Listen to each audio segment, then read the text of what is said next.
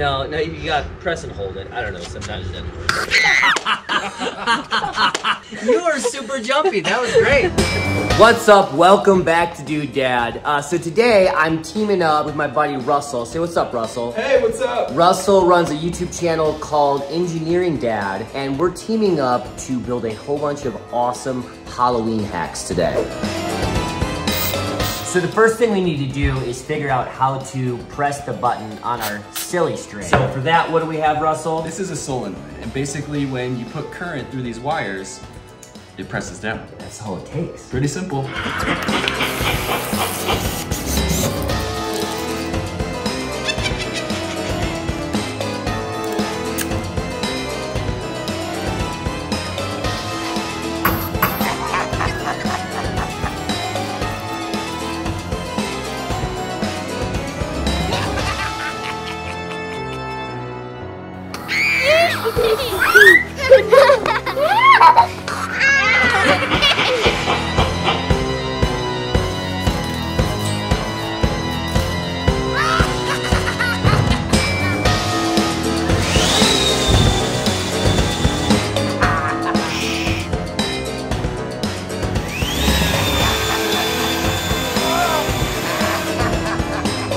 Call you back.